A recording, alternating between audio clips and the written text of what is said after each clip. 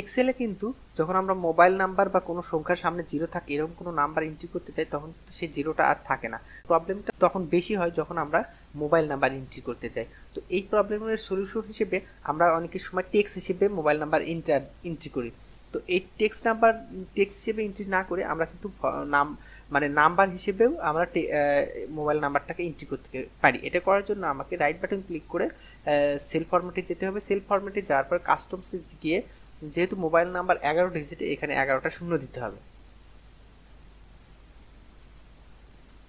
দেওয়ার পরে ইন্টার দিয়ে দিলাম। এখন আমি এখানে যদি মোবাইল নাম্বার এন্ট্রি দিই, তাহলে কিন্তু সামনে শূন্যটা নিয়ে নেবে।